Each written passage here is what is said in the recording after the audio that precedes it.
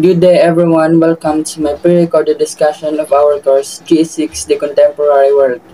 Since we already know about the globalization, its definition, and its positive and negative impacts, it is time now to learn the impacts or the effects of globalization issue to ASEAN countries.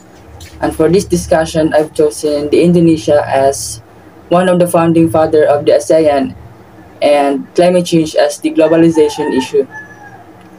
The title of this discussion is Indonesia, a susceptible country in the face of climate change.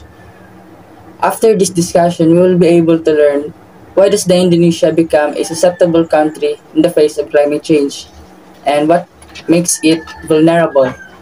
And also we will be able to learn um, what are the effects of climate change to the Indonesia's economy, human health, environment, and biodiversity.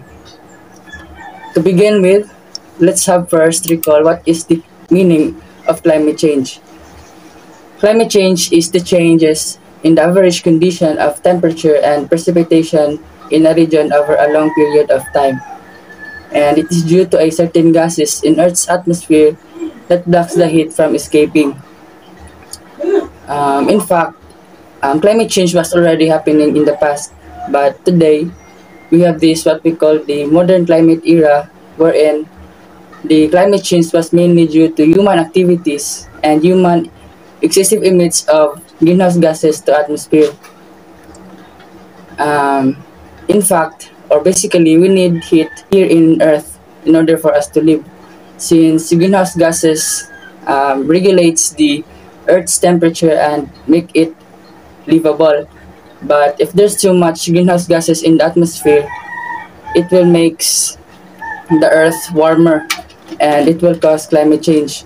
This climate change results into severe floods and typhoons, increase the sea water level and melting of ice sheets. Since we already know or since we have the idea of climate change, let's learn why does this Indonesia becomes vulnerable to it and what are the impacts of this climate change into Indonesia's economy, um, human health, environment and biodiversity. So, climate change in Indonesia is receiving a lot of attention as the country is the world's third largest emitter of greenhouse gases, which are the root causes of the current global climate change. While the Indonesia is apparently endowed with large natural resources, the environmental degradation is continuing at a fast rate.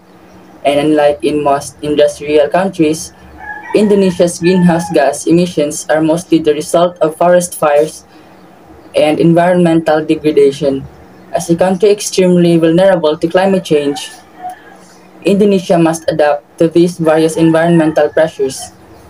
Indonesia has also become a frontrunner in the international limelight due to the country's eagerness to reduce the greenhouse emission by roughly 26% according to World Bank in 2010. So climate change in Indonesia not only has implications for the country's environment, it also immensely affects its people and development. Indonesia's economy has been growing at a fast pace over the last two decades due to good economy policy and political stability. But however, climate change makes the task of development for poor countries an even harder challenge the shock of climate change are already harshly left or felt in Indonesia with additional droughts, heat waves, and floods. Hence, if these effects continue to increase in Indonesia, it will pose an even greater threat to the country's development challenge. Although this problem was not just experienced by Indonesia, it was also experienced by almost all of the countries in the world. Although this um, climate change or this globalization issue was just not experienced by Indonesia, Indonesia becomes the world's third largest emitter of greenhouse gases, and that is why they become one of the most vulnerable countries in the face of climate change. To know more about Indonesia, let's have this small empirical background.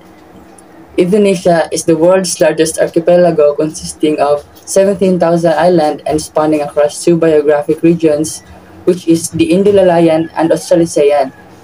Indonesia is home to the world's richest biological diversity of plant and animal life on the entire planet.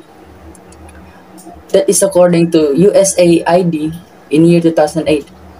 The country has the highest marine diversity in the world and the second largest area of rainforest. But however, along with the rich array of biological assortment in Indonesia, the country's emission of greenhouse gases is also severely increasing.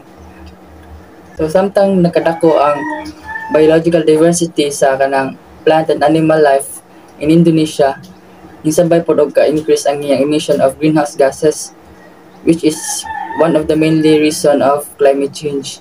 So if you observe this, um, this figure 1, which is the evolution of Indonesian people in millions, in year 1980 to 2006, from 150 million people or population, it increases into 220 million in year 2006, which is a fast rate in terms of population. And so, what are the effects of climate change in the economy and the poor of Indonesia?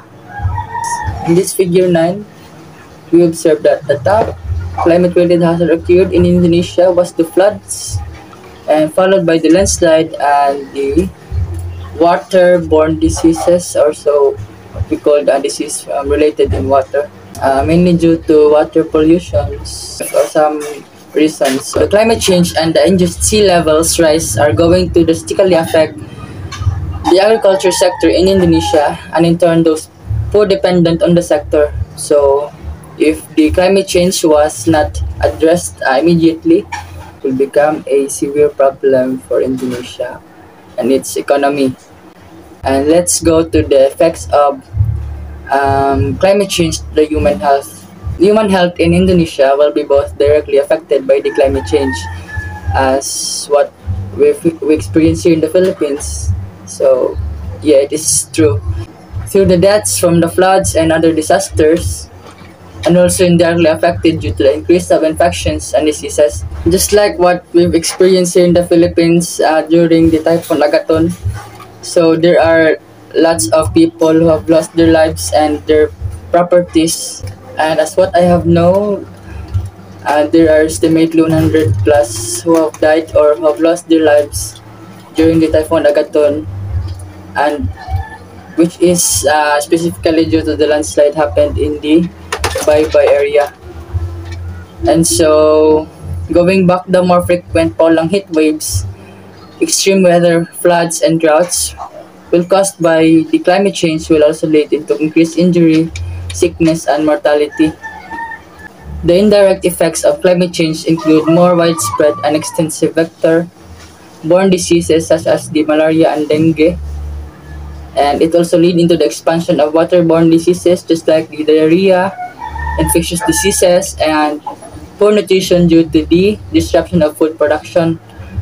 So if we connect the effects of climate change to the Indonesia's economy and poor and for the human health, the most vulnerable was the poor since they already have the effects of climate change into the economy and to the Indonesia's poor and the human health. Let's have these uh, effects of climate change in the environment and biodiversity of Indonesia since we all know that Indonesia was one of the largest biodiversity of plant and animals life in this entire world. Along with affecting the Indonesian economy, poor population and human health, Climate change also threatens the country's environment and biodiversity. As the precipitation changes, land use change, and temperature increase over the last 20 years, um, the increase and amount of intensity of forest fires and burned areas in Southeast Asia was also increases. I think this is the end of my discussion and hopefully there's something you have learned in this type of globalization issue happening in Indonesia.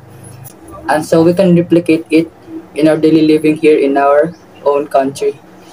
Um, thank you for listening and have a good day.